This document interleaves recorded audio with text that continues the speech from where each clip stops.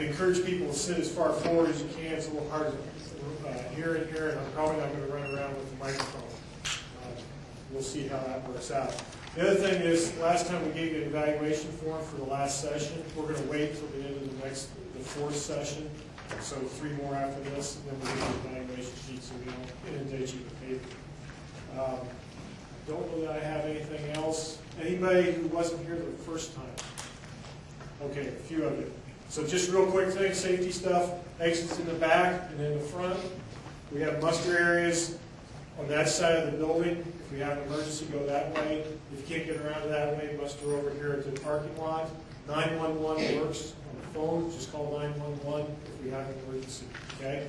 And if something's going on, we see smoke or something, find a JLab employee and follow them out.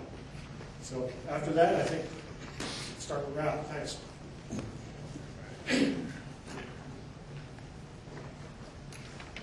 Good afternoon. Good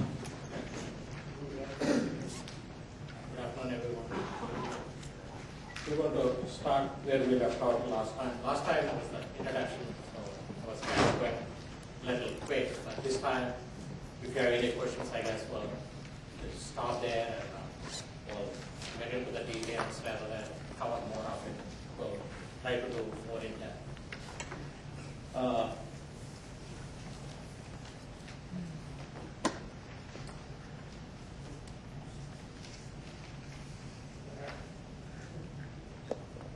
oh,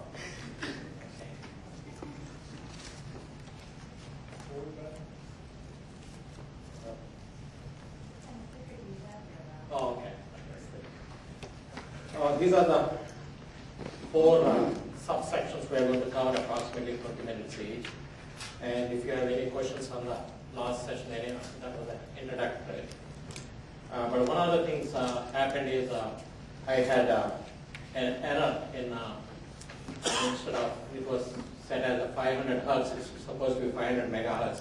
But Jay Benesch uh, kind of gave me more accurate than what I had. Basically, he said the frequency range normally covers is from 100 megahertz to 3000 for cryogenic uh, things and, uh, and for high quality beam. Also, but there are some normal uh, these uh, frequency, I mean, conducting things are used for 1 megahertz to 11.4 for uh, uh, AM type uh, uh, high frequencies. But that's just to differentiate and just start, I'll put this back into correct the whole ones. So going back, uh, uh, I guess we'll go-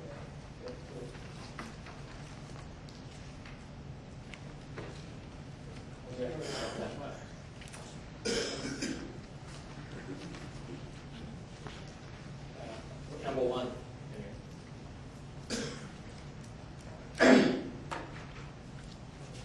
Just now. Yeah, no, in, uh, slide. There you go. Okay. All right, you have to go to the number one. Oh, you got another uh, presentation. No. It's not linked. Oh, okay, sorry.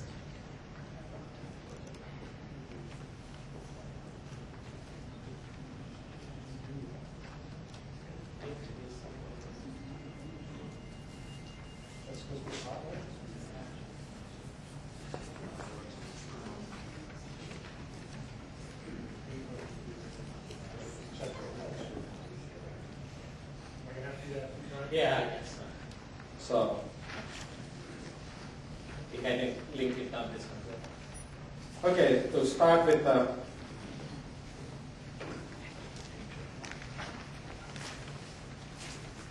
basically, the helium refrigerators are no, no different than from your home uh, refrigerators. Uh, so let's, so what's a refrigerator? A refrigerator is basically takes energy from low temperature and transfer to high temperature. It's basically like a bucket. You take water from uh, well and bring it up to use like that. But it's basically transfer of energy from one temperature to other temperature is a refrigerator. Uh, most of the time we use the term refrigerator where we absorb heat at constant temperature and reject it uh, and constant temperature also. we absorb heat into a liquid and vaporizes it, and we compress and we reject heat and condense the gas back to liquid, and the cycle repeats. So let's look at an ideal uh, cycle. This is called the Carnot cycle. Basically, what it has is a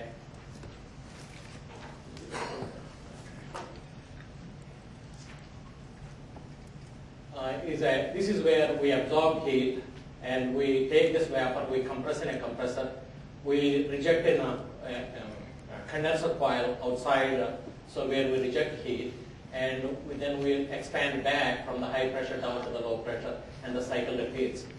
And if you look at an TS diagram or the temperature entropy diagram, uh, thermodynamic terms, so this is the amount of heat being absorbed from this low temperature T low, and it is compressed from here to there at constant entropy in an ideal compressor. And then uh, the high, high temperature, uh, high pressure gas is condensed at constant temperature and it becomes liquid and it is expanded. So the amount of heat absorbed is here, the amount of work going into the compressor is here, and the amount of heat is rejected there. So if we do a thermodynamic analysis of what does it take to perform a cycle like this, absorbing the, uh, the, the input work is basically the, uh, the x-axis times the y-axis, that's the amount of input work. So that is T high minus T low times the delta S. And the amount of heat absorbed is the T low times the delta S. So this is the amount of heat absorbed, this is the amount of input work. So the coefficient of performance is defined as what's useful for us versus what it takes to do the work. So this is the amount of uh, amount of energy we absorb, but this is the amount of work we need to put in. So if we divide that, then this is called the coefficient of performance of the machine. But we normally use the inverse of it to say, okay, to get a one watt, uh, we use the inverse of the COP or watt per watt. How many watts we need to put in in our electric power to get a one watt of cooling is more like what are we paying to get that cooling is what we use uh, one hour COP basically gives us watt per watt uh, uh, in, information. So if we take our refrigerator in our home and plug in the numbers, uh, say for example in your house, uh, you want to freeze the freezer, uh, the coil runs around minus 10 C because the, at 0 C is where you freeze the water, but it has to be cooler than that. Your home is around, say, in summer, gets hot, but it re rejects uh, the coil behind the uh, refrigerator runs as hot as 50 C. So if you calculate these and plug into the numbers what we just said, it says I can get 4.4 watts of cooling for one watt of uh, compressor work. So the, the Carnot work uh, uh, for 4.4 watts of 4.4 kilowatts of cooling is 1 kilowatt. And for uh, simple mind thinking, sometimes it confuses people looking at how can we get 4.4 kilowatts of cooling if we only put in 1 watt of cooling. That's where the term refrigeration comes into picture. Refrigeration is not conversion of energy, it's just a transfer of energy from one temperature to other temperature. So it's basically like a picking up with a bucket, taking some quantity from one elevate, one temperature level to other temperature, but we are not converting from one, like a thermal energy from a power plant to an electrical or mechanical in your car. So that's not what we are doing. We're not converting anything, we're just basically transporting the quantity of energy from one state to another state. That's where the refrigerator differs from your power uh, or energy conversion. So that's one of the things sometimes uh, people not really expert deep in thermodynamics get, or it looks like we are violating some fundamental laws. We are not in a refrigerator. So that's why we, we can get as much as 4.4 kilowatts of cooling for one watt of in your home refrigerator in an ideal uh, system. This, so so it's not a violation because refrigeration is just a transfer, it is not conversion. So thermodynamic efficiency is the ratio of ideal input power to the actual input power. So now we introduce the term efficiency. So we use the Carnot cycle. Carnot cycle is the completely 100% reversible. There are no losses involved. It's all ideal fluids, ideal, everything is ideal. So we can compare how close we are to ideally possible things. That's why we use the cycle, Carnot cycle. So the, it's always good to say, okay, it's like 100% system. I mean, not that it's practical, but it's always good to us to compare how close we are to the most 100%. So for a given uh, state in a cycle, go from point one to point two, uh, the, uh, the with no irreversibilities are completely reversible, the amount of heat transfer is T ds. That's what we have seen in the TS diagram. This is the basically the second law of thermodynamics. This is the statement of the second law.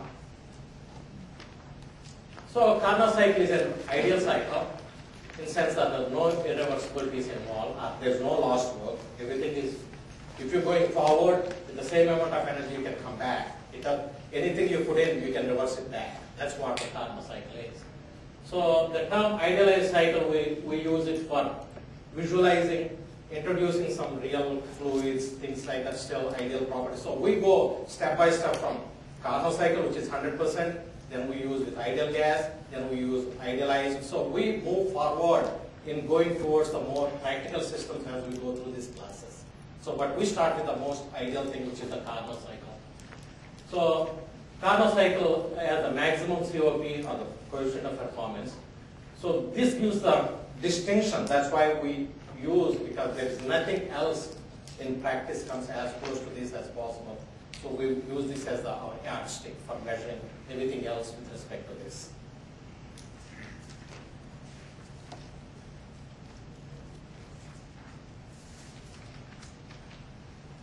So now in thermal systems, we use the term exergy the, uh, the, the re- reversible work. It's uh, basically the Carnot work.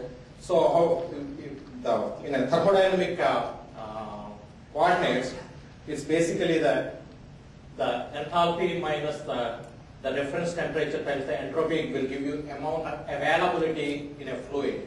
Basically what we're saying is, at the room temperature, we got so much amount of energy available, so many BTUs, but this zero gradient, it's, it's worthless. Either it is higher temperature to the environment, like your car engine where your you fuel burns, raises to the temperature, you work, extract work and you dump it to the environment. Basically, environment, we use it as a uh, zero reference. Or in our refrigerator, we use the compressors, all the power goes in into the uh, helium compression and the cooling oil, and we dump it into the cooling tower, which rejects into the environment. So basically, the environment, which is the zero gradient, where we have a lot of energy, but it's not useful. So that's why we refer that to the zero uh, level energy with reference to that. That's, that's the temperature we use as a zero, zero availability. So why, what's so different about thermal systems compared to the electrical systems? See, in an ideal electrical transformer, for example,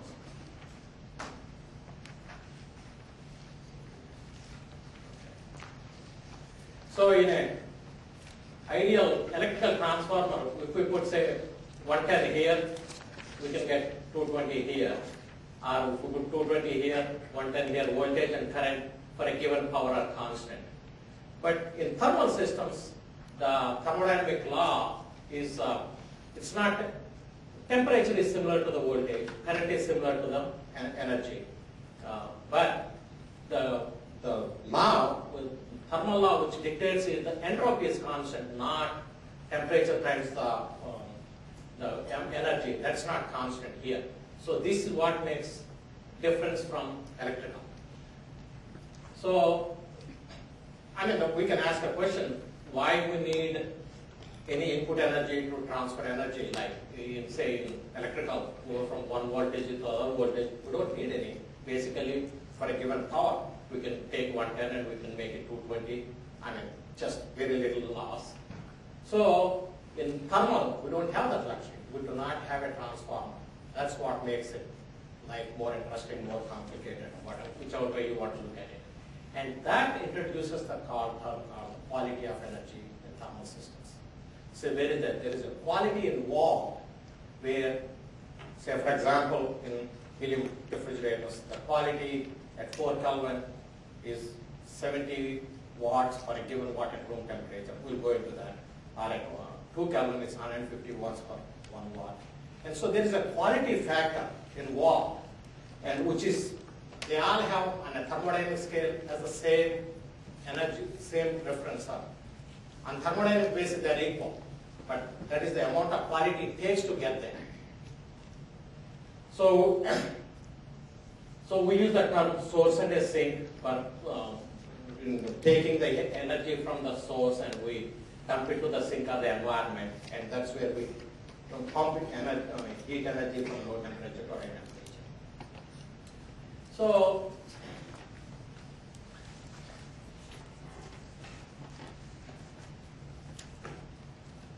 the minimum work required, see, see, this is our interest.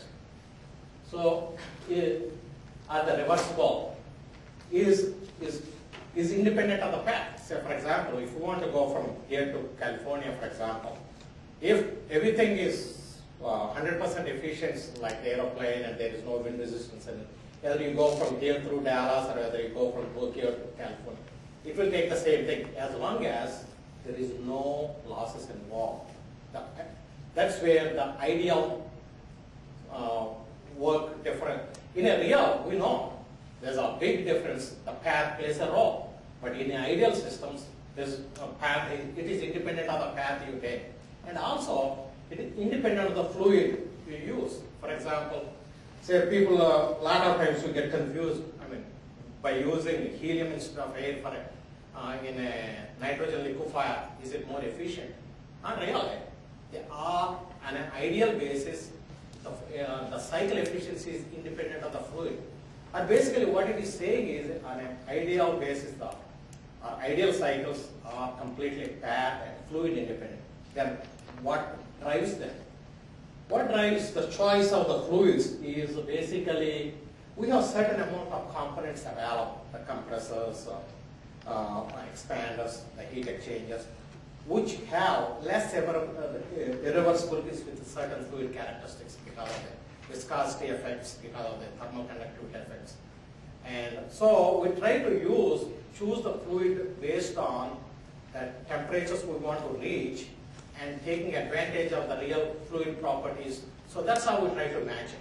But most of the first driving factor is the fluid has to liquid in fluid form like we can use air to go to 4K because it freezes up. So it has to be still exist in liquid form. So that drives the fundamental. And but we don't use helium to do uh, to liquefy air because the losses involved, the specific heat of helium is five times more than the nitrogen or air, and so the heat exchanger losses really stack up more. So we try to take and use all these various properties put together in choosing the available components, what works well for these compressors, what works well for the heat exchangers, the expanders, and, and the temperature we need to reach, and is the fluid still functional in those ranges. So those are all the things which put together in selecting the fluid and the path depends upon what what type of expander we got, what type of compressor we got, what type of heat exchanger we got. They set the various paths we take in coming up with the cycle. So on an ideal, what I'm trying to get across is, on an ideal basis, if the fluid is the same, or if the fluid is very close to ideal, it doesn't matter which fluid we use. And if the path we are taking is reversible, it doesn't matter how we work, whether I come across like this or whether I come, whichever way I come across to get here, if there is no irreversibilities involved, it will take the same amount of energy. So those are the two fundamental things normally not clear to, uh, in lot of thermal classes, thermodynamics people take. So in, on an ideal basis, the path, I mean, the, the efficiency is independent of the path if it's reversible. And the fluid has, does not play uh, uh, in efficiency unless, except it's irreversible on an ideal basis. So, because why I'm saying is, when I first, took, I'm after taking some thermodynamic courses and when I was involved in the refrigeration business in my family thing, I was under the impression that we used to use ammonia for the uh, regular uh, freezing uh, plants. Then, at that they, uh, all the technicians used to tell me, oh, there is a kind of freon, which will give you a lot more efficiency. And I didn't know at that time, I thought fluid does play a role. It only plays a second order role. from the viscosity point of view, from the heat transfer point of view. From a overall, it takes the same kilowatts per watt if the reversibilities are second order. Whether you use freon or whether you use ammonia or whether you use something else, it's second order effects. Or it helps you in choosing the various components, whether you use freon 11, freon 22, freon 12. Basically, it determines what is the discharge pressure you get for a given outdoor temperature, what's the low temperature you can get. So it tells you, it helps you to choose various different types of components to use your cycle. But basically the fluid on a first order basis doesn't participate in efficiency.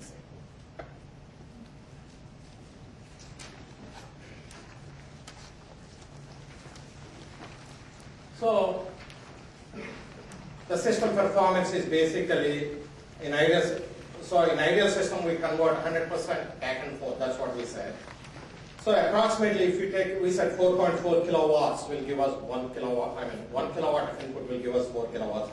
But in real systems it's all, it takes, I mean we, we need 1 kilowatt for a 3 kilowatts. And we said, okay, uh, quality of energy.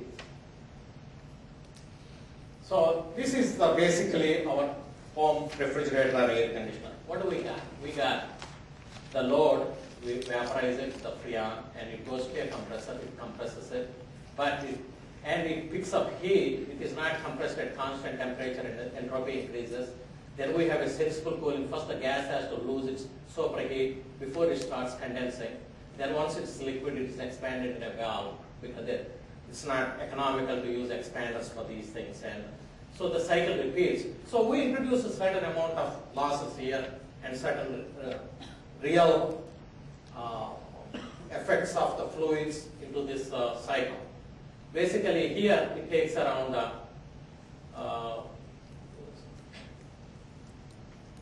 so instead of uh, it takes around 3 kilowatts per one I mean 1 kilowatt of input power for 3 kilowatts of cooling and now this has a 0.68 per, uh, 68% of performance that is called the exergic efficiency or the Carnot efficiency of the cycle is around 68%.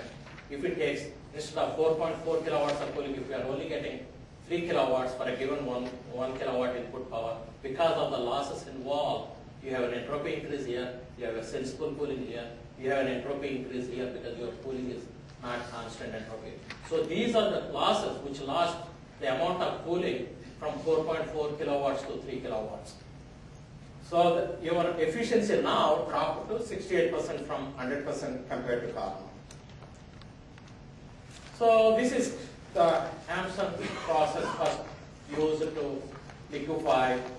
Uh, you take the liquid air and uh, you go through a heat exchanger and uh, you compress back and you use a high temperature, high pressure to uh, cool it back and you expand it and you put heat. So you can absorb heat by repeating the cycle and you can reach lower temperatures uh, depending on the fluid and the component choices.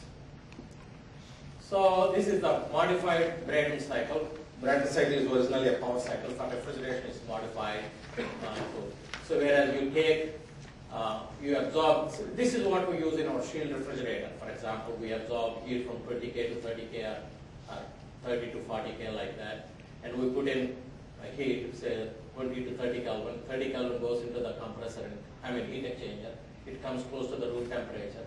And room temperature we compress back and uh, we reject heat here. We take the room temperature and we cool it back uh, to close to the 30 Kelvin and we go through an expander and we repeat this cycle. Basically this is the modified Brayton cycle. This is what we use in our shield expanders. And uh, this is called the Claude process where to improve to reach lower and lower temperatures because of the losses involved in the various components and the fluids, we cannot get to low enough temperatures. So the, the Claude cycle will help to absorb certain amount of heat exchanger losses and also to provide cool in case we are liquefying and say we are taking away liquid out of here, there is not enough uh, cold gas coming back to cool all the high side. So we, we need to produce certain amount of refrigeration to provide the additional fluid which we are taking away to be cooled. So we use the expanders. That's the basic uh, Claude process. Then Sam Collins uh, at MIT, when we started using the helium liquefiers, Previous to Sam Collins, uh, uh, most of the liquefied, helium was liquefied using hydrogen pre-cooling, pumping on it. Of course, there were some mechanical expanders were developed, but still were not really reliable or anything until uh, uh, Sam Collins at MIT produced uh, two expansion level, uh, 1400 basically a lot of, there more than a couple thousand uh, systems in the world which are working on this principle where this made helium available to most of the universities and laboratories for the low temperature research. This basically made most of our developments which we make a living on today possible. So the key steps in this are the coefficient of performance, uh, thermodynamic efficiency, the Carnot cycle, the quality of thermal energy, the reversible work and the fluid work, exergy. And present day cryogenic process cycles are an extension of the, our home refrigerator, more exotic. So that's basically the first introduction to the thermal. Any questions, I guess, before I go to the next one? Basically, there is a book in the, in the thing which basically explains in little more detail. That's what we teach at the cryogenic engineering conference, which goes into more detail. And if you guys have questions later on, feel free to call me, or get in touch with me, and we can, I'll try to explain to the extent I can uh, from the practical. See, most of the time what comes is, uh, it, there, there is a conflict in our head between what we see versus what we study. That's what I'm trying to clarify here. From what we see, how we think versus what really thermodynamics is telling. There's not nothing more than that.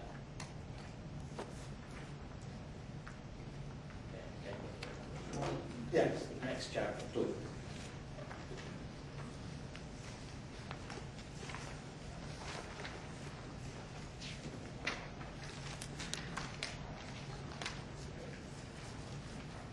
Okay, now we want to study a little more about the thermodynamics uh, and its influence on our helium cryogenics, basically. So like what I said in a simple terms early on is the uh, quality of energy equivalence are. So what we are saying is there is a certain amount of energy at one temperature is same as uh, some other quality of energy at a different temperature. These are equal. That's basically what we're saying is at 300 watts at 300 Kelvin same as 4 watts at 4 Kelvin or 2 watts at 2 Kelvin. That is the thermodynamic equivalence. On a reversible basis, that's how they behave. Of course, we will have other losses and more, but that's where we stop. So, every time, if you're burning 1 watt at 2 Kelvin, that's most of our systems are, pay attention because that's what a lot of watts at room temperature. So,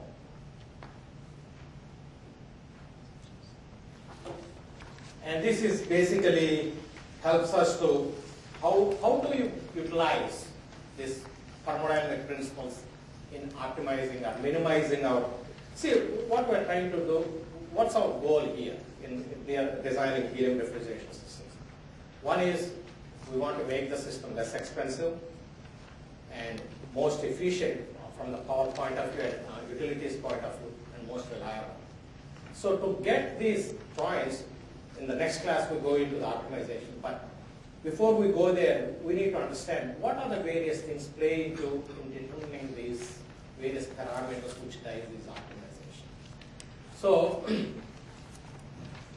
say 1 watt at 4.2 Kelvin, it requires uh, 70 watts at 300 Kelvin. So basically there is a 70 to 1 quality factor for 4 Kelvin on an ideal basis. That's a quality factor. So we use the uh, uh, thermodynamic analysis called exergy, which is defined as enthalpy minus the our reference temperature times the entropy. And this is a very powerful tool. And we can figure out where the, our losses are hiding, where we can, where we, basically, it tells you the pocketbook to your expenses, some other things, sometimes we may not want to know, but it will tell you. If you keep uh, going through just like your uh, balancing your checkbook, you can follow every, every joule, every watt, where it is going, what you are paying, which heat, how much heat exchanger is costing you, how much a turbine is costing you, how much you are paying, and eventually going to the load. Everything comes out in this exergy analysis. That's the power of this, is with very clearly will define you. And that's what we use uh, to decide optimums, and that's what we'll go into. To say, in trade-off principles of, if we invest another hundred thousand uh, dollars into say, bigger heat exchanger, what, what would it give us back in terms of reduced utility power, or reduced? So we can do a trade-off study in terms of um, uh, the, our operating power to the out and also in terms of the reliability. And as we make it more and more complicated and exotic, there's some point of no return. So we can look all these things on the paper before we build these things. So that's what this, and this analysis will give you. And it's very powerful. The more paper you understand, the more you, enjoy it because it keeps showing you. It's like our own, when you go into your own, looking at uh, uh, meditation, whatever, and you want to understand the nature in different forms. And for thermodynamic people, this basically tells all the things we ever wanted to know about the whole cycle and where we are spending our. And we enjoy that because we can figure it out where we are spending the uh, uh, energy we are putting in. So, I'm sorry. Yeah. What if the small h x energy equals zero equals h one t zero minus this? Uh, yeah, this one, the small h, uh, this one is the enthalpy of a fluid at any given temperature. but is defined somewhere? What's that? Somewhere? It is. Do you have it defined? And yeah, it's in the notes. Yeah, It- it's, it's, it's in there. All these things are defined in the notes. Uh, all the, yeah, they are defined. Uh, basically, H is the enthalpy, T naught is your reference temperature, and S is the entropy of a fluid. And they are in the notes behind the, not, may not be in the slides, but there's a, which goes into the, this uh, these slides follow the notes in the back.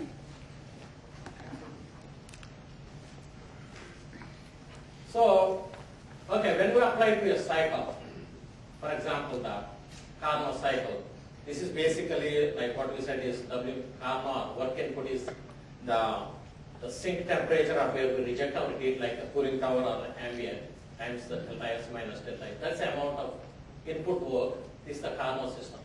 And what this tells is, this has so many things buried in it as, as you keep looking at it and looking at it and you will start seeing how much information is in it. Basically, T naught delta S is the heat rejected to the environment. See, when we put work into the compressor, say, let's say a CHL, we put in, say, five, or six megawatts. All the six megawatts we dump into the cooling tower. So basically, then what is producing refrigeration? So basically, this tells you this is the heat rejected T naught delta S. It's all going there. Uh, the input power, so six megawatts of electric power we put in, it's all gone there. And the delta H is the heat absorbed in the ideal refrigeration or the ideal work output from an expand. Basically, expanded output and amount of refrigeration we produce in an ideal cycle they are equal. Because the rest of the heat, um, the all the work, all the energy went in compression is basically in thermal terms is rejected into the cooling tower. So only what is basically it is like uh, you take the uh, milk uh, and churn it, and the butter, what goes into the cold box is very little amount of it, and the rest of the all the milk is thrown away at the cooling tower. All the megawatts which we put into the compressor are thrown into the cooling tower, except it enters the cold box um, from, it comes from out of the cold box at one atmosphere at 300 K. It goes back into the cold box at 18 or 20 atmospheres at the 300 K. So we reduce the entropy by rejecting all this and we made it more quality fluid going to the cold box. We improve the quality but not thermal energy. There, there's a difference. We do not put uh, high energy into the cold box. We put high availability into the cold box. Or it is like more quality form of the same thermal level fluid goes in.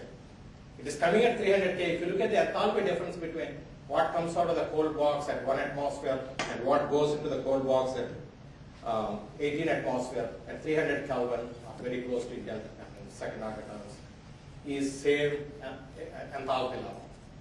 But the quality is the difference between those two. That's what makes it. And that's what we're trying to say here is the, this is the amount because we absorb, we, our expanders will take so much heat at different temperatures out and makes the quality more. And that's the amount of heat we add in the cryo modules or into the shields.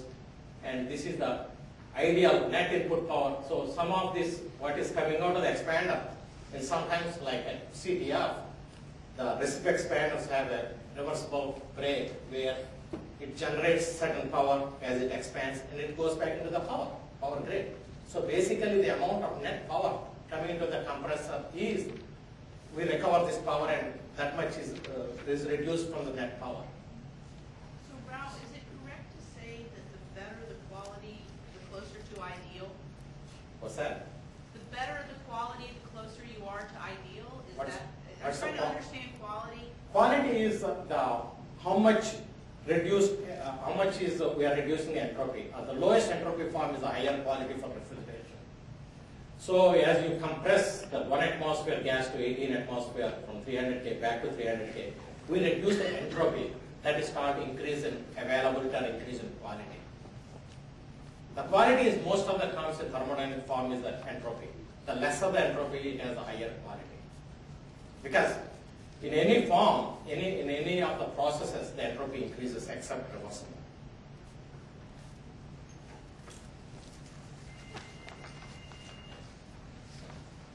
So basically, a refrigerator transfers heat energy from low temperature to high temperature.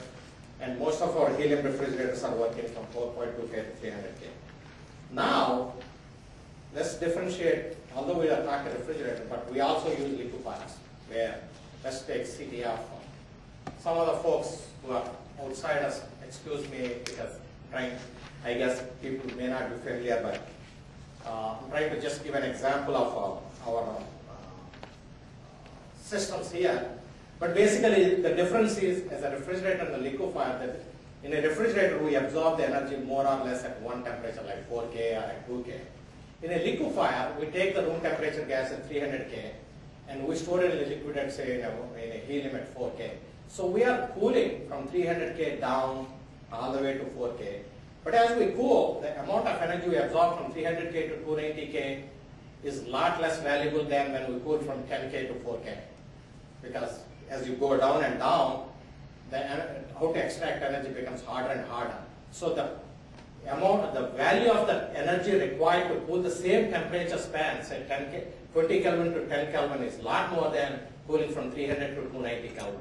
The temperature ratio, temperature delta may be the same, but the amount of energy required because they all have to reject back to 300 Kelvin, which is 300 to 290 is a lot closer to 300, so we can dump it much quicker. I mean, take it very close to the surface and dump it. But if you go deeper and deeper to 20 Kelvin to 10 Kelvin, it's a lot harder to, so it takes a lot more, even the reversible work a lot more watts.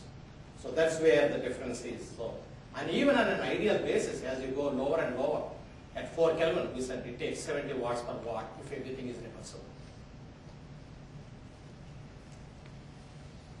So this is basically, in the introduction, uh, we had this thing to, uh, where, say, this is our air conditioner, where it only requires 14, uh, 0.14 watts per 1 watt of cooling. And as you come to, say, liquid nitrogen, it takes 3 watts per 1 watt of refrigeration at 77 Kelvin. And it takes 70 watts at 4 Kelvin. And as you go to 2 Kelvin, it takes 150 watt per watt. So you can see how steep this curve is with temperature. And these are the various fluids. Uh, it will tell you as you want to go lower and lower temperature, which fluids you can, any fluid above that boiling, uh, uh, uh, I mean anything fluid below that boiling temperature at which you want to work can be chosen. But the fluid which, the, it is better to choose the fluid which is very close to where you want to absorb the heat because it will give you the two-phase characteristics which will be more easy to adapt into the cycles. So you try to use, say, in uh, for example, liquefied nitrogen, you use nitrogen as a fluid rather than helium because you can condense much more easily at uh, 80 Kelvin level, and you can work with it and you can design um, the components more economically using that fluid rather than using helium for um, uh, liquid, uh, liquefied nitrogen. So, but you can use helium for liquefied nitrogen, or you can use helium for liquefying hydrogen. But in hydrogen liquefied, again you use hydrogen rather than helium. Because as you use a fluid which is different, you cannot use nitrogen for hydrogen liquefaction because nitrogen will freeze by 65 Kelvin, whereas you need 20 Kelvin to get to hydrogen. So, you can always choose a fluid with a lower boiling point temperature to use, but it's better to use the fluid which is you, the temperature you are, you, are desiring for your refrigeration.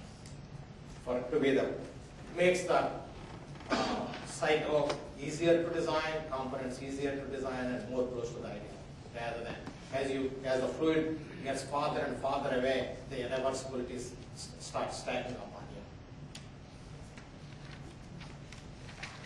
So that's the Carnot helium refrigerator, basically like uh, Ena delta S. That, that's specific Carnot work, and this is the COP inverse. This is the amount of Carnot work. That's the amount of energy we are basically absorbing. So this will tell you the COP inverse. This is the this is this is the amount of watts you need to put into your compressor for this many watts you are absorbing. We use this a lot because basically we are interested in how many watts are we have to pay for each watt. For example, let's take 2 Kelvin at our central helium liquefier. We put in almost like 1.3 to 1.4 kilowatts per 1 watt of 2K. Okay? And at CTF, we use 3.5 kilowatts per 1 watt of 2K. And when people talk much, simpler terms, oh, I need only 10, or 10 watts here, 10 watts there. But look at its amount of impact on the amount of power they draw. And we go into more detail of how, how I mean, serious they are.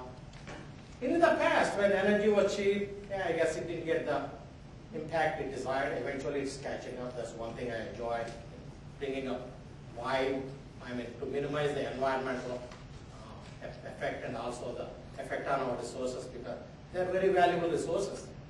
I mean, it takes 20 million years to produce that uh, oil, what, 100 years or 120 years? Like there's no tomorrow, we're, we're spending it.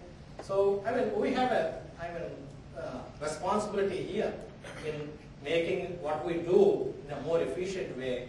And these, I'm hoping, will show some of the things, what we can do to make these things that much more efficient and, and so we'll get into those things. That's, these are the fundamentals which will tell you as you get deeper into deeper how to analyze these things. And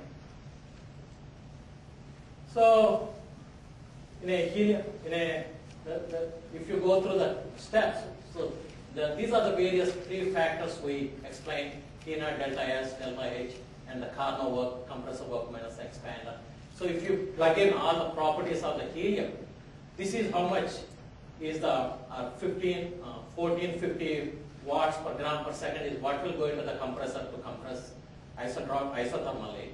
And this is the amount of heat you can absorb from liquid helium to liquid vapor at one atmosphere. And, and this is the compressor work, and this is the amount of expander work it will produce in a refrigerator. The rest, the difference is the amount. If you, like the CTF, if we, if this goes back into our grid, the difference is what we have to get from the grid to go into the compressor. So 40, 30 watts is what we have to draw on an ideal cycle, and this is the amount will come out of the expander. This is what goes into the compressor.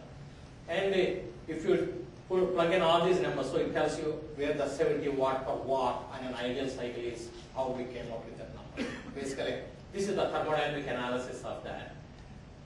So if the expander work, like CHL, and where some of these expanders, like when you when your machines are very big, uh, and uh, the, when we use turbo expanders, they run anywhere from oh 50,000 to 300,000 RPM, and it's not economical to absorb the few kilowatts it gives out to bring, bring it down, the gear ratios and the losses and the controls, and So we throw it away. So in a refrigerator, if you throw it away, because this amount of work coming out is so small, 20 watts, and if it only goes from 70 watts to 71 watts, it is not as significant to ignore the expander work in a refrigerator. So if you go to a liquefier, where helium liquefier, where you take one atmosphere 300 Kelvin gas, you compress it, you go through an expander, and it leaves the system here, and if you want the flash, it comes back. So the T delta S is 8.4 kilowatts per gram per second. The delta H, you are cooling from here to here. It's not 20 anymore, it is 1.5 kilowatts per gram per second. And the delta work, and this much work it would have come out at 1 kilowatts. So that is, and the net, net, net work is 6.8 kilowatts per gram per second. So there is 18% of the work in a liquefier is the expander work. It's not small in, an ex, liquefier. So there's a big difference between the both for a lot of people. What's the difference between a liquefier and a refrigerator? That is the difference. Where the expanders work is a substantial amount of the total power we put in and throwing away. Of course, we'll come into picture where we throw it away a lot of big systems. I mean, but because of the practical reasons. But it's good to understand what we're throwing away and what its implications are. So, okay, this is another thing. We have a machine, a helium machine designed as a liquefier and a refrigerator. And it shouldn't matter because it's the same compressor, same expander working between those two temperatures. In one case, we are putting heat in and we are circulating in a closed cycle. In another case, we are taking some liquid out at cold end and we are putting uh, gas at the warm end. So people ask, what is it worth for me if I take a liquefier and want to make it a refrigerator on an ideal basis? Basically, what did we say? It requires, if all the expander work is recovered, we need 6.8 kilowatts. Uh, yeah, 6.8 kilowatts if we recover the expander work from here. And we said we need 70 watts if we require, the, I mean, uh, recover the expander work. Or 100 watts is same as 1 gram per second of liquefaction. Give I mean, you know. So, if we recover everything and follow the reversible process, 100 watts at 4K is same as 1 gram per second liquefaction. So, let's go to the other end where we throw away the expander work. Now, out of the 18 8.3 kilowatts, 1.5 kilowatts is thrown out, so we still have to put 8.3. It is 72. So it becomes 120 watts for one watt of refrigeration. So people loosely throw these things, you know, oh, one watt is, I mean, one gram per second is 100. You got to pay attention. That's a 20% effect on you, whether you account expander work or not. In our case here, where we will go into the, yeah, as we come, I'll explain a bit more. So, when we say 120 volts, so ideal power required uh, as a refrigerator to the liquefier from, if we do both those ratios, we are at 82. See, when you throw away the expander work, you already lost 18% of the efficiency of the system. You, are, you can only start with 82% of the Carnot by throwing away that span of work. And that's where a lot of these helium liquefiers, we design a lot of refrigerators with 30% Carnot, but when you run it as a liquefier, it only gives you 25% because, and lot of, I didn't understand it when I was, when I started in this business in the 80s, I, I couldn't figure it out where I'm losing this 5% and until go through all the details account it. Like I said, you can account everything. That's advantage of this uh, analysis. So this is where the loss is because the expander work is lost. So if you put it on a TS scale, uh, this is the temperature and this is the kilowatts per, per second. So this is the expander work you can extract as you come down. So most of the expander work is by 80 Kelvin or by, by liquid nitrogen for a helium system. This all comes out. So this is the amount of idle work you need in this uh, helium refrigeration as you go down uh, per kilowatts per gram per second. So the 8.3 kilowatts we said. And if you throw away the expander work, and so these are the various terms. You can see those three terms we used in our analysis, how the temperature will play in a role.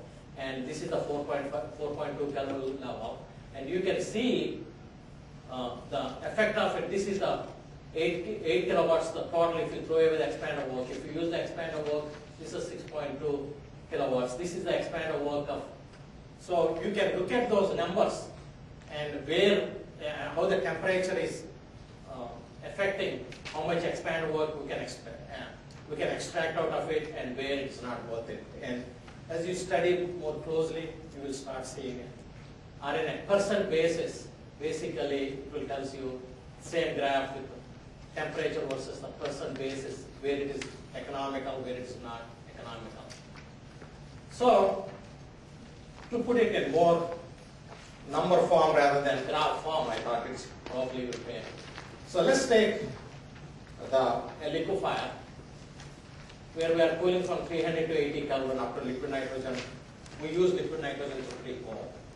And where the amount of T naught delta S is 2.5 to 2 kilowatts per gram per second. Uh, It's um, uh, 24% of the energy, I mean, T naught delta S is 24%. And 80 to 4 Kelvin is the T naught delta S is 6.3 kilowatts or 75%. Going from 300 to 4 Kelvin, see, it takes 300 to 80 Kelvin, it only takes 25% of the energy. And to go from 80 Kelvin down to 4 Kelvin takes 75% of the energy. So,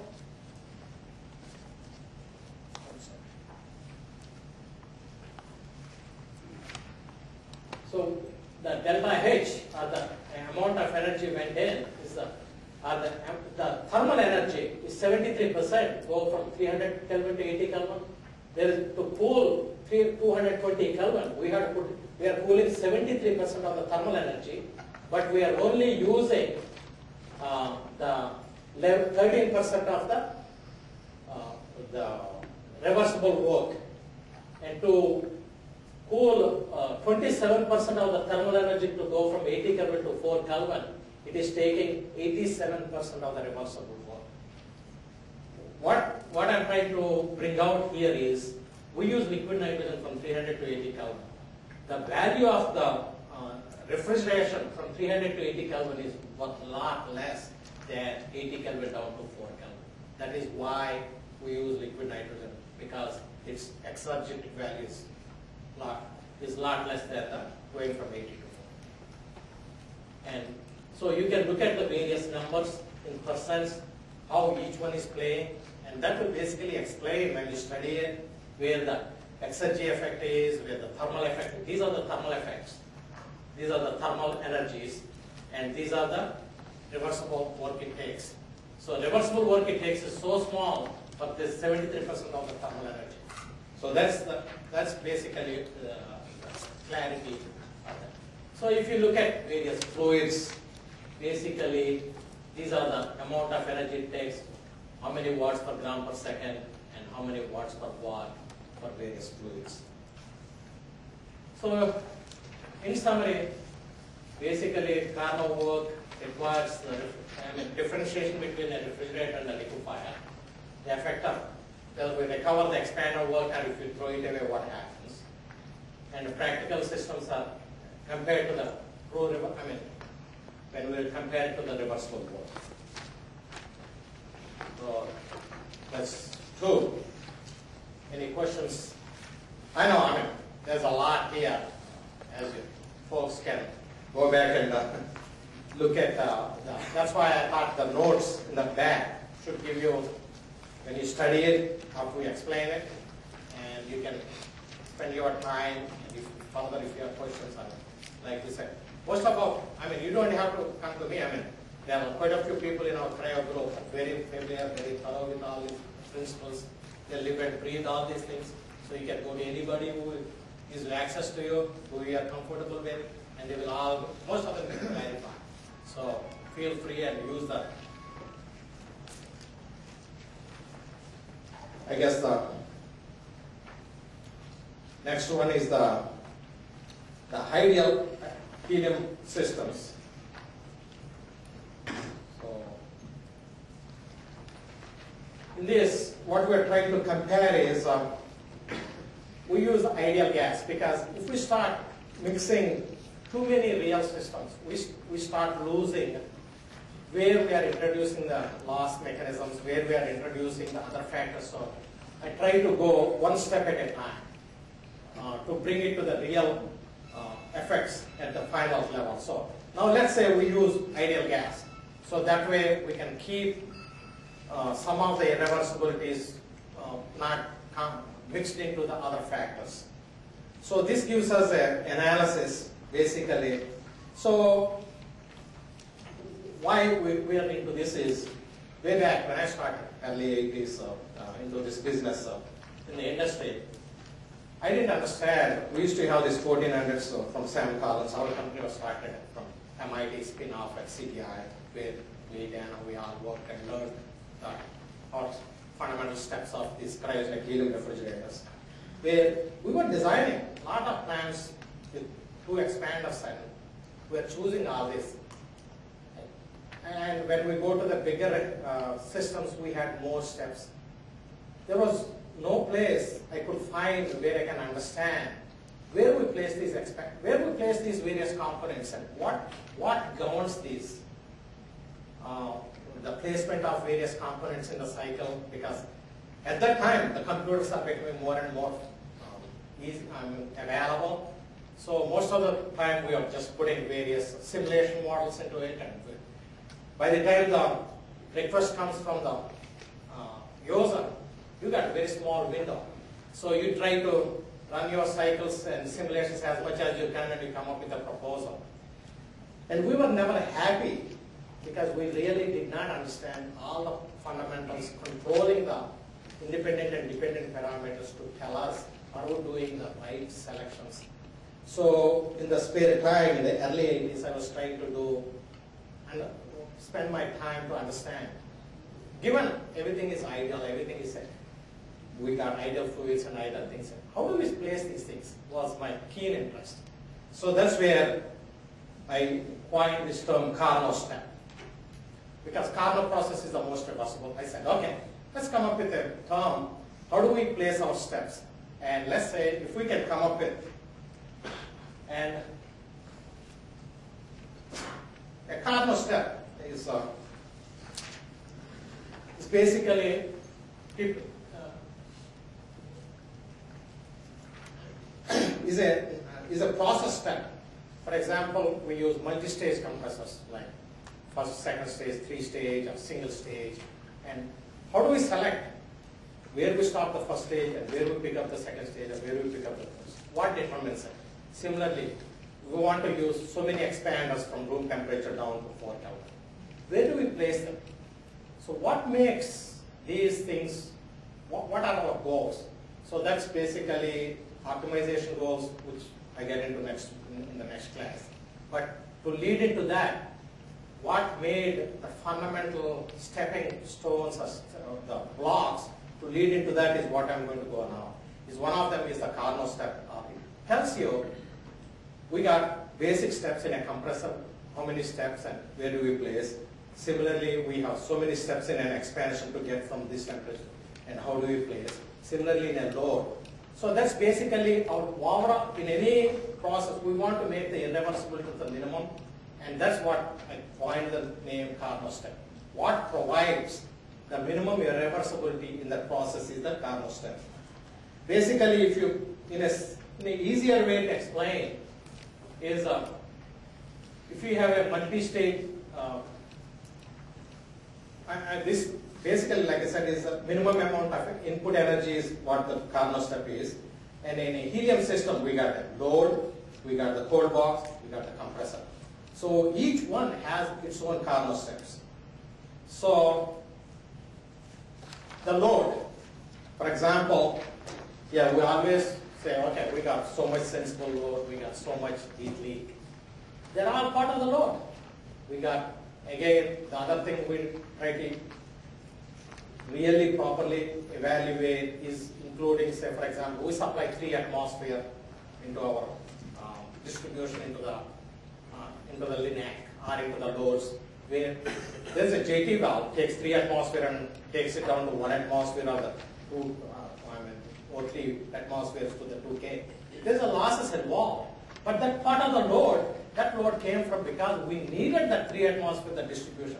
So somebody has to pay for all these things. So we need to account when we're asking certain requirements, where you draw the boundary is very important. When you say we need certain pressure is required, so that's part of the load. And when we put so much into your 2K load, that's, yeah, that we all understand that primary load. But then you got the distribution where our transfer lines, our bayonets, our valves, there's a heat leak into that. That's part of the load. So how do we space all these things? Where do you space, I mean, what is the fraction and how do you, so that the total Carnot work of all this is less coming into the refrigerator. So you need to play, when you design your loads, you need to start playing a lot of uh, uh, analysis and uh, in analysis and design to make sure you're not introducing a lot of losses, not thinking about it, because it happened to us, for example, in the linacs, where we thought we'll have very small load on our return. We have uh, and our return header has like 500 watts of heat leak bottle by the time it comes to the linacs. We thought it will be only 50 Kelvin, I mean 50 watts in our fundamental original thought because we really, yes, we have 4 kilowatts of load going into the cryo modules. We accounted that. But we are only thinking we can handle from cryo module to our 2 Kelvin with 50. But in real life it became a factor of 10 more. And that had its effects. And if we accounted it properly, we would have been a lot better off. But we paid a bigger price in commissioning by not realizing upfront. So it is important to go through all the analysis as carefully as you can on the paper upfront rather than after the machine is built. So one way I thought it will give you a, a better idea of a helium refrigerator. Like I said, helium refrigerator is nothing but you have a bucket full of watts here at 4 Kelvin. You want to walk up the steps and dump it on the ground. Basically, you want to carry this heat energy or whatever. So what we use is we use the expanders to provide that cooling as you go up. So how do you space these things? And that's basically what this whole Carnot analysis is. How do you carry this heat? Do you place them equal raises? Or you, what governs the step spacing is the Carnot step. That's what, believe me, it cost a lot of nights, sleepless nights for me. But, and once you figure it out, it's done, simple. But it wasn't that clear until I figured it out. So then, uh, from then on, I mean, for all the people I associate with, this is the first thing I, I make sure they understand it, they use it, because, because that's very strong principle. How do we space these steps? Because there are certain things, the system size determines how many you can have, and how do you space, and makes a big role in optimization. So, okay, that's that's basically the Carnot, the expanders which provide the cooling. How do you space them is the Carnot step. So that's the number of car, of the expanders are the number of Carnot steps for the whole box. And we get into that, how do we space them. And when it compressor, so like you know, uses all the input energy, as I explained, you put in 6 megawatts at CHL and we dump it at the, in the cooling tower. And we use multi-stage compression or two-stage. And, but we know from thermodynamics on a polytropic process basis, equal pressure ratio as the minimum, for an equal flow as the minimum input work. So that's, that's known from the uh, polytropic principles you can, I mean, uh, thermodynamically. So equal pressure ratio is what we want. But not recognizing also we play a big role, I mean big uh, impact on our total input power. For example, when our CHL was designed, the first stage pressure ratio was less than 3 and second rate was, second ratio, uh, second stage pressure ratio was close to 8. And, and because they were looking at the cold box optimization, they were not looking at the overall system optimization. So what used to happen, even when I was in the industries, we used to have various different tools. When we get the proposal, we have, I used to work in the cold box and thermodynamics, and my interest was to optimize this to the heck of it. But we used to have the compressor group, which are more industrial, who are using all the gas processing industry and petrochemical industry. That group, that's their area, we are not supposed to touch it. So they used to say, okay, we'll tell you what the pressure ratio, and you go and do your cycle around it. So there, we had a disconnect between our groups. And that's where, after we did this analysis, that's when I kind of brought the management to accept the optimization has to include overall, not pieces and bits and various groups. That's when we integrated at CTI all the optimization under one umbrella, saying that fundamentally all this have to be done overall first, then it has to be broken down and handed over to various groups to take it from there to do the final designs, not individually working from the beginning.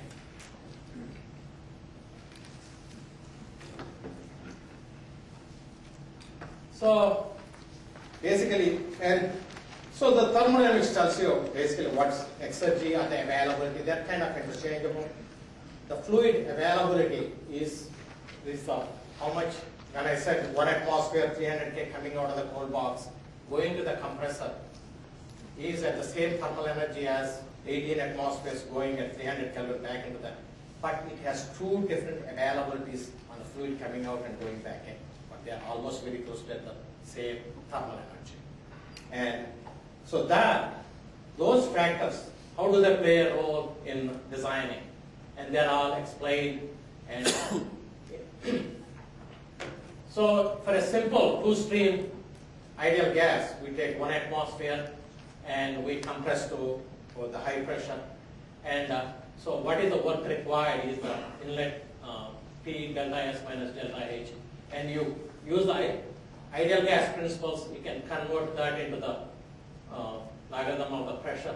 And so basically what it tells you is amount of entropy to be we are playing with. So we, we take a 4 Kelvin liquid at this low entropy and we put in heat in and as it evap evaporates the entropy increases. And all our desire is to bring this fluid back to this entropy of the reference entropy where it is 100% liquid.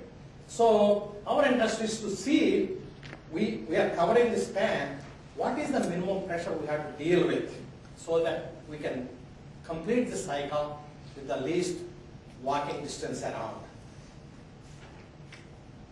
Least ground we cover. So,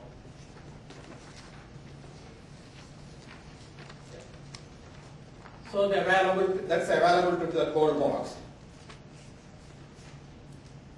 Basically, we can increase the availability to the cold box by multiple factors. We can increase the amount of mass flow at certain amount of S, or we can we can increase the delta S. So there are, so which one is more optimal? And how do you do, how do you select where you stop uh, the entropy uh, improvement, where you, you know, do mass, how much more mass for a given unit energy, and how are these will trade off. So to get into that, to give you an idea on an an ideal helium refrigerator using ideal gas. So that's why I don't want to introduce anything about real fluids yet. So let's start with just ideal and see about these factors. Basically, so we said, the, I mean, we've been through this um, 70 watts per watt. So this requires 70 watts of isothermal work for one watt of uh, uh, the refrigeration of 4K. And uh, if we convert this and go back to the this equation, delta S to ln PR, and so, and if I go back and convert it, what it tells me is, and to do this process, I need a pressure ratio of 10.6. I can construct a cycle taking from liquid entropy, which is coming back as the vapor entropy, and go back in an, on an ideal fluid basis with a pressure ratio of 10.6. So that will complete my cycle. That's the minimum I need to keep my mass flow minimum. So that, that's what basically the 10 atmospheres is what is ideal for uh, the refrigerator. So there is only one step because the amount of energy we need to extract is only at one temperature. We don't need to extract from room temperature down on an ideal because there are no other losses, the fluid losses, the other component losses are not involved. So this has only one step.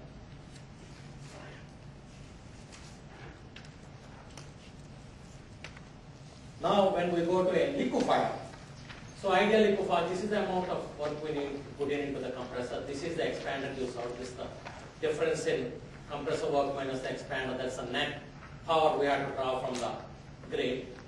So 18 and so 6.8 kilowatts of ideal work is required. So if I go back and plug it in, plug it in so what it tells me is I need 7 100,000 pressure ratio, not 10 anymore in the liquefier to do the same delta S as um, to do a liquefier. So there's a big difference between a refrigerator and a liquefier on the fundamental thermodynamic principles. And some of these things, that this is what it took me a lot of time to figure out, a lot of these things. Uh, when I was just starting in this field, so that's why try to document all this and bring it around so people can appreciate and understand the sheer size of these numbers and their influences on the designs. So idealized helium liquefier, the discharge pressure has to be 700,000 compared to 10 in a refrigerator. So what is that? Then we know 700,000 is non-practical because we don't have equipment. Even if we produce one, that it's not going to last and provide the reliability we need. So what we do is we make it, break it down into different things. We call different heat pumps. Are, these are called the different stages. This is called, uh, each one is a different step, basically. So, in a, these are called uh, ideal Claude liquefiers steps. And this is ideal temperature step or Carnot step a step. This basically establishes the, so what, what we are saying is we can take, go from room temperature down, and we can do each one in a different step, absorbing heat in a small area. So the overall pressure ratio doesn't need to be, we are trading 700,000 into number of steps here with a smaller ratio because we are handling one at a time. This is handling the highest, like that. We basically traded this huge pressure ratio into smaller ratio, but with various steps. So then you can calculate from all this. So if you take temperature, how many ideal steps you can. This is all based on ideal principles of ideal gas. So how many ideal steps you need in an expansion stage can be calculated. These are all very simple plug-in numbers. You can figure it out. So Carnot step for each expander state. What it told me at the end is for an ideal system, that step need to have an equal temperature ratio. Like we said, for a, in a compressor, we said uh, in a uh, in an isentropic process, it need to be a constant pressure ratio. In a cold box, this need to be an equal temperature ratio. This is what is very simple once we understand it. Believe me, I had no clue when I started doing this analysis in the early 80s to figure this out.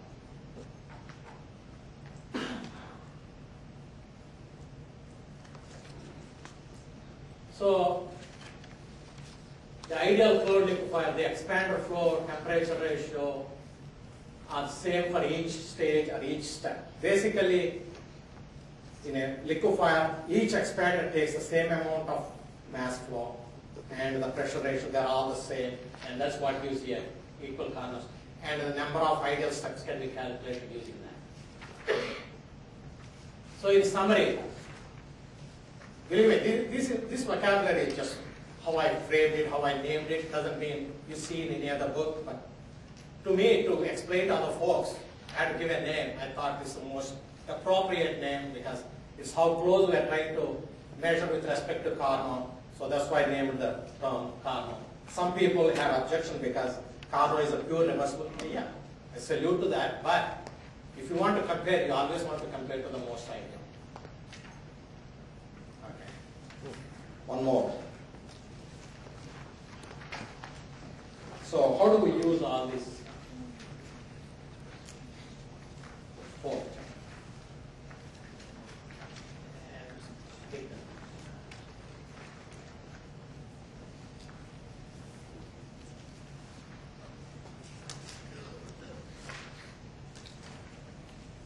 Well, we covered some basic fundamentals. How does it all play into the cycle? That's what we are interested in. We learn pieces and, I mean, to build any building, we need the building blocks, to need the brick.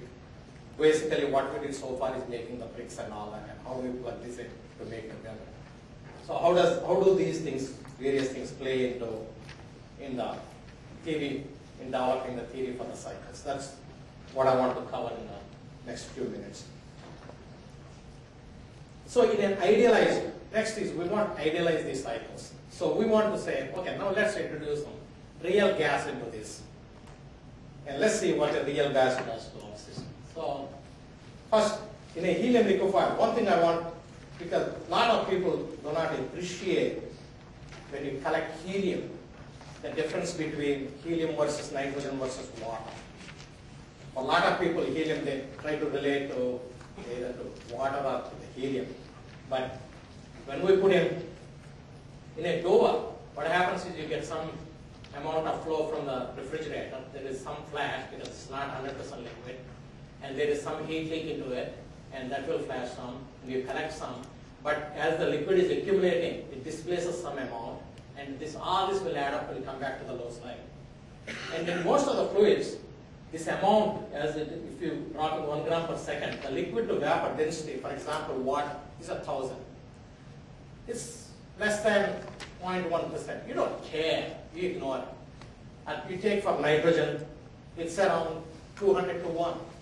You ignore it. But when you come to helium, and around uh, 1 atmosphere, it is 7.4 to 1. Uh, it is 15%. So, when I was in the industry, when I was doing the sales and all that, we always used to measure data price because it's 15% advantage to us in showing you it's making, but it's not real because it's just re-liquefying the vapor already at 4 Kelvin and it is accumulating up and you think, so that's why when you specify a helium liquefier, you have to be very clear. Is it based on makeup and is it based on rate of rise? There is a 15% difference if you are at 1 atmosphere in the door. But then they also play another thing. Then they say, oh, compressor is short. We start raising the suction pressure or the door pressure. If you go to 1.6, that's 35% of the liquefier capacity. You will start seeing volume expanding so fast in the door. There actually is 35% less by mass basis at 1.6 in the door. And believe me, lot of cell like. So we have to be very careful as a user, as a buyer, be aware of where are measuring, how you are measuring, and its implications of the pressure. Where. And these are all people won't bring it up to you, especially a vendor. I had no reason to tell you when I was selling it because I need to collect my check and go to the next project. So, but, but you as a user, I mean, believe me, when I became a user from industry, when I went to SSC and when I became a user, a lot of things, when I had to pay for the utilities, when I had to pay for the availability, that's where a lot of things I had to deal with and a lot of this development came from there. So where we get in. So, so helium gas, real gas. So, like I said, we introduced the real gas now.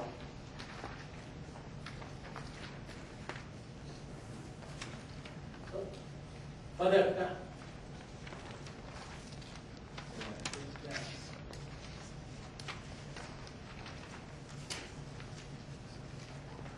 Okay, we are taking a real gas and taking from here and compressing.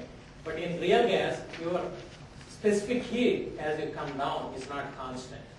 So when you start, you start uh, say 300 K. By the time you reach around uh, uh, 7 Kelvin or so, the amount of refrigeration available is done because that's the amount that your expand is supposed to take it out to complete the cycle.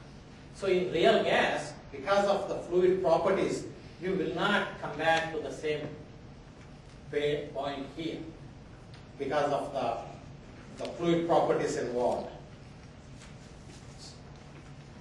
So if you do that and have that, and if you account that and come back and plug into the same numbers, instead of 70 watts, you already have 130 watt per watt.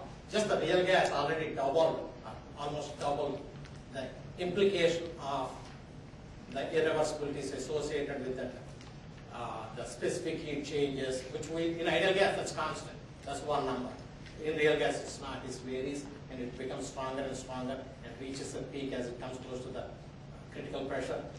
Uh, so, so these are the irreversibilities we need to, they're not going to go away, uh, not going to go, go away in a real system, so we have to deal with those. So, in a constant entropy difference process, then we said, okay, let's devise a cycle where this is what we want, because we're starting here, and after we put in the heat, we end up here, and we want to come back. So let's come up with a cycle which maintains this delta S constant. So we went through to figure out, is there a cycle, something we can design? So and we went and said, looked at how much what comes out, and I guess uh, we little bit.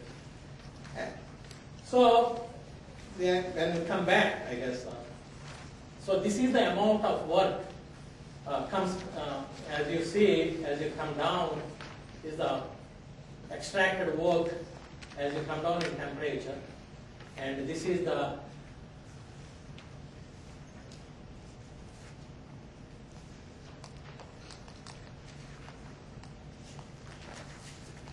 high, the high pressure stream.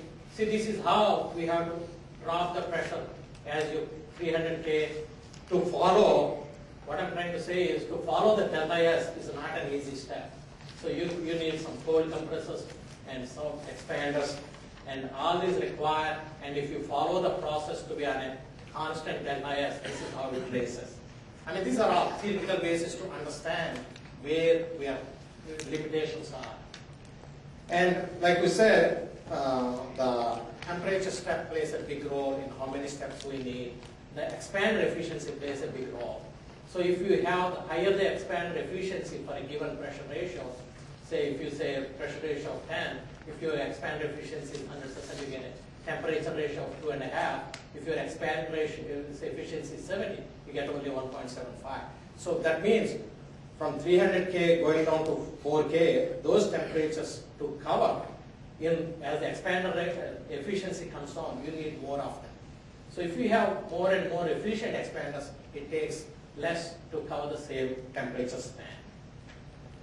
So, and we also recognize, based on some practical limitations, we cannot use as many expanders as we like in the calculator from the ideal cycle because as you come down, the expander know, output is coming down lower and lower and they are not becoming uh, practical at some point depending on the size of the load. So then we introduce components, heat exchangers in between the uh, expanders.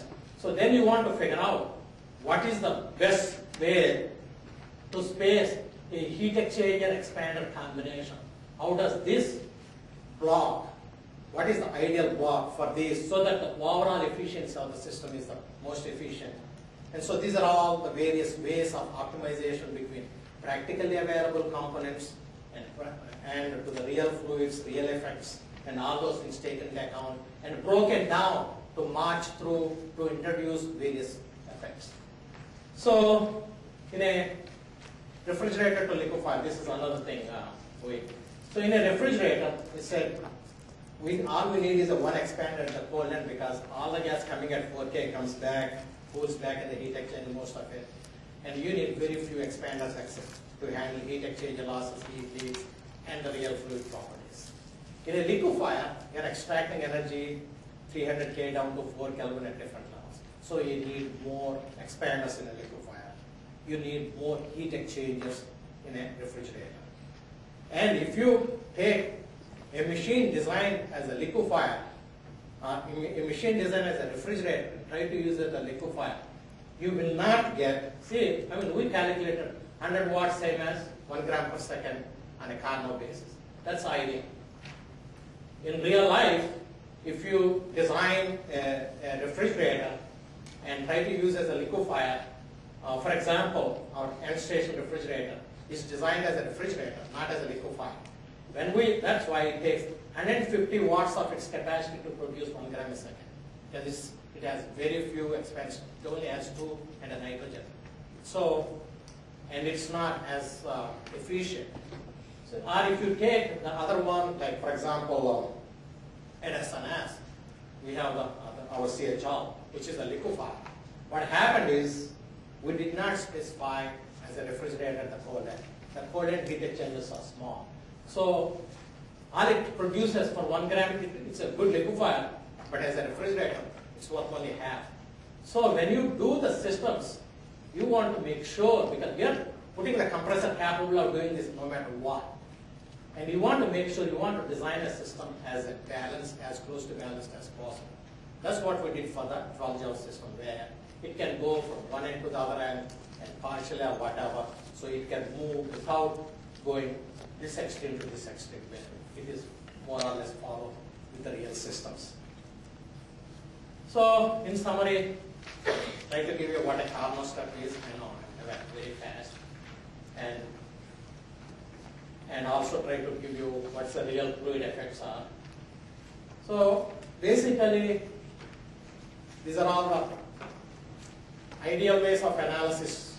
We are starting with ideal gas, ideal placement of components, and now we'll go into the real systems in how do we optimize real cycle, how do we design real cycles, and how do we take an existing system and how do we optimize it. Then we'll go into the floating pressure Ganni cycle, how we converted all these to make them efficient.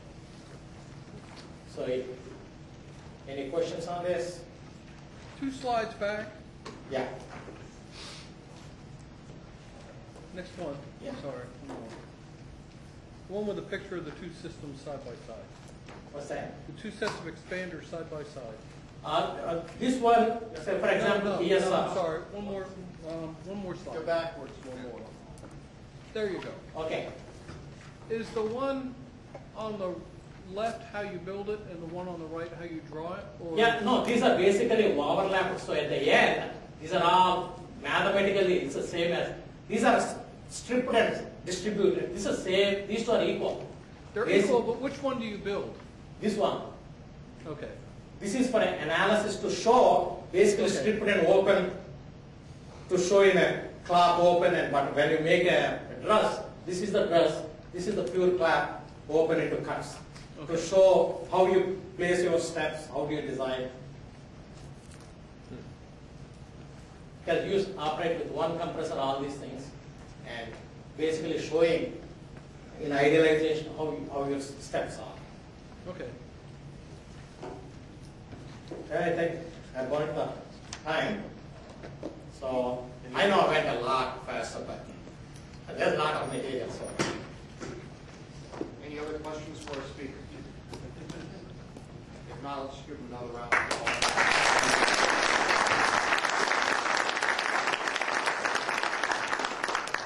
And we uh, hope to see you back here on the 20th.